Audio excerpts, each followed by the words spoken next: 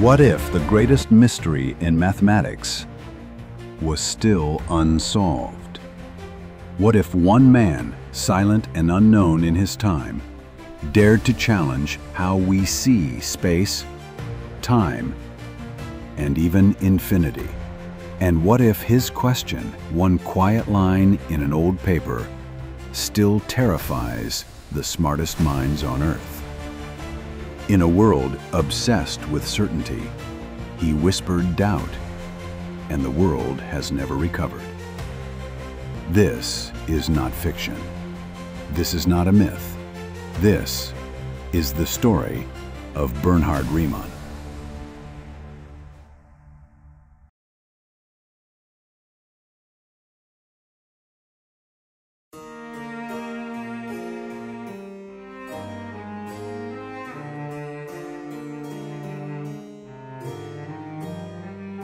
Bernhard Riemann was born in a small village called Breselenz in northern Germany.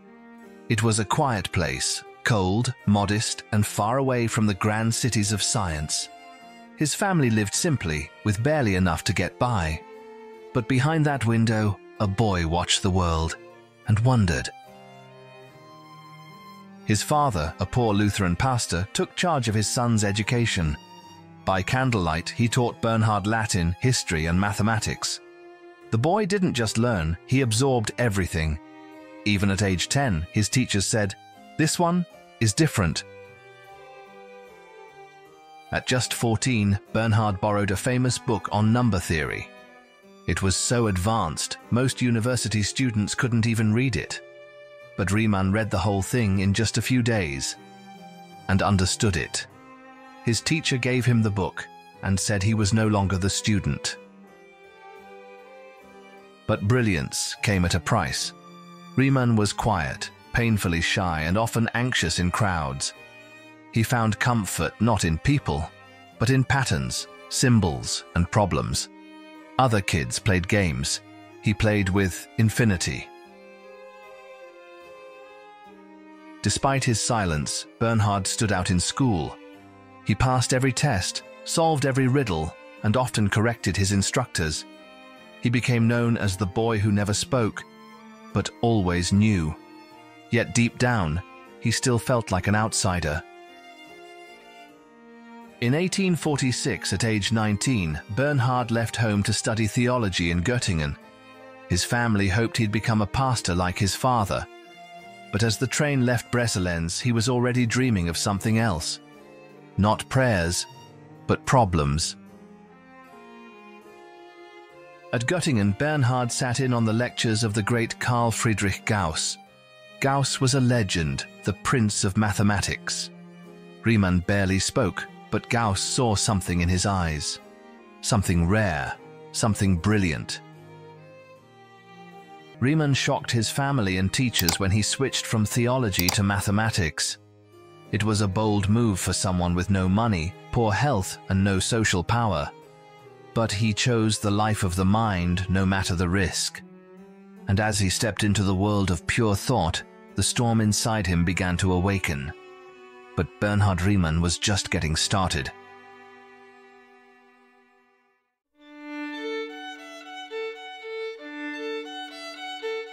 In 1849, Bernhard Riemann returned to Göttingen not as a boy, but as a man with purpose. He walked the halls of the university again, but this time he wasn't following.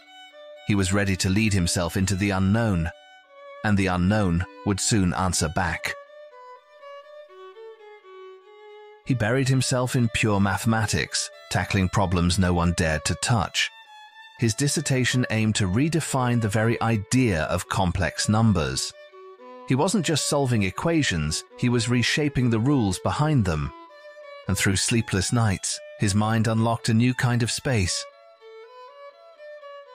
to explain strange mathematical behavior, Riemann created something radical, Riemann surfaces. These were twisted, layered sheets that helped visualize how complex functions behaved.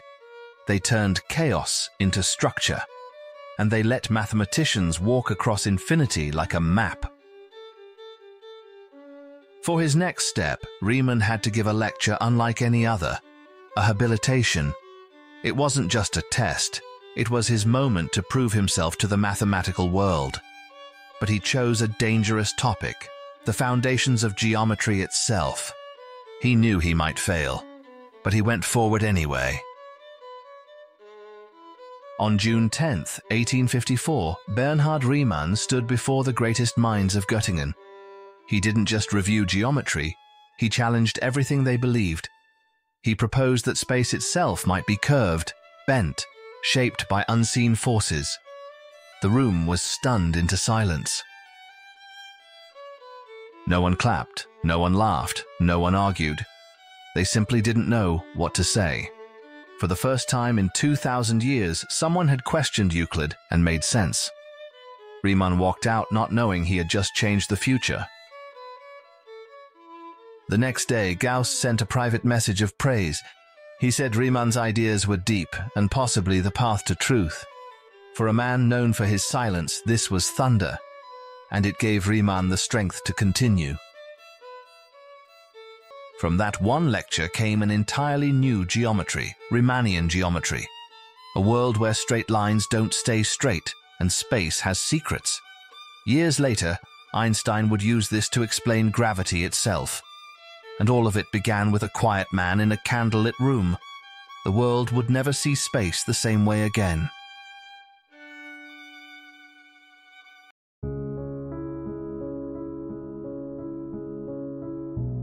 Bernhard Riemann never shouted for attention.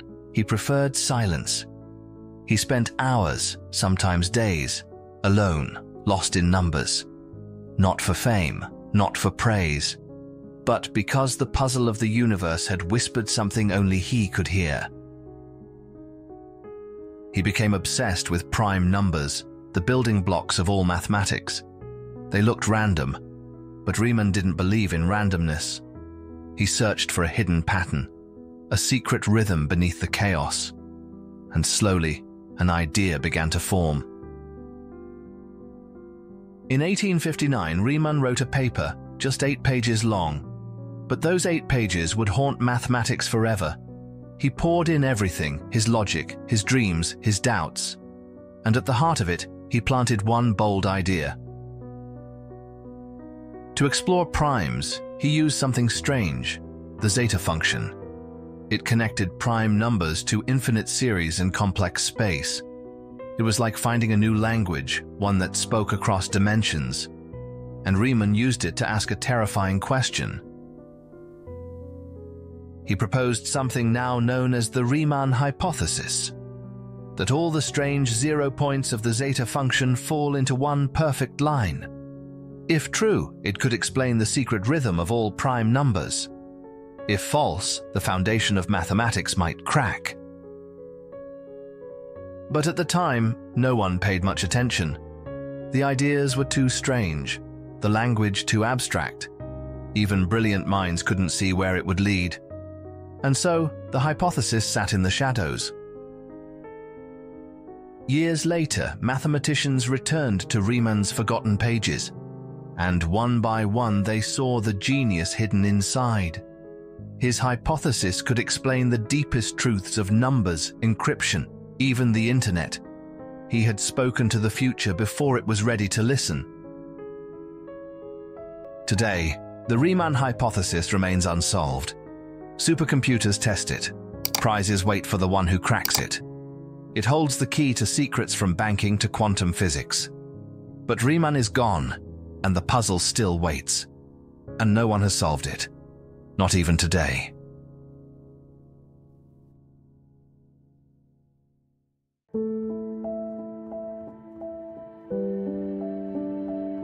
In the final years of his life, Bernhard Riemann grew weaker he suffered from tuberculosis, a disease with no cure then. He left Germany for Italy, hoping the air might heal him. But time was slipping through his fingers like sand.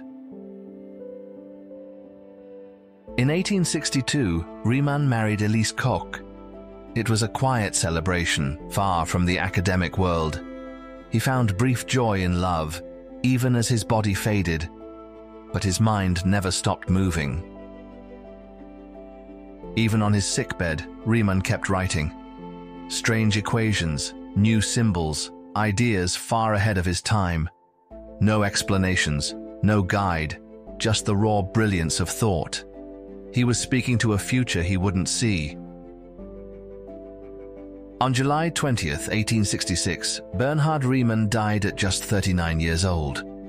There was no fanfare, no eulogy from kings, only silence and unfinished work, but death could not bury his mind. For years, Riemann's work lay forgotten. Then, decades later, Einstein discovered Riemann's geometry. It became the backbone of general relativity. Space, time, gravity, they all curved just as Riemann predicted. He had redefined the universe from a sickbed in Italy. Maria Mirzakhani studied the geometry of Riemann surfaces, the same strange curved spaces Riemann had imagined long ago. Her work helped us understand how these surfaces twist, stretch, and move over time. She uncovered deep patterns in the way Riemann surfaces behave, especially when they change shape. Her breakthroughs helped mathematicians and physicists alike from string theory to chaos theory. And through her, Riemann's quiet question kept echoing forward, louder than ever. Today, Riemann's influence stretches across everything physics, astronomy, computer science, cryptography. From black holes to blockchain, his fingerprints are everywhere. He was one of the few who truly shaped how we understand reality. In the year 2000, the world finally admitted it.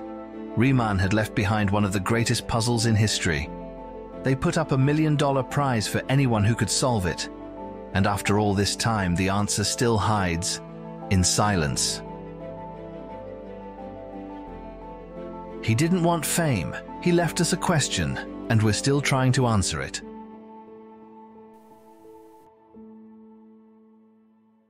If this story sparked your curiosity and you want to explore deeper the people, the concepts, and the beauty behind the math, head over to our website migoromedia.com. The link is on screen now and also available in the description below, so you can explore further at your own pace. Thank you for watching. See you in the next video.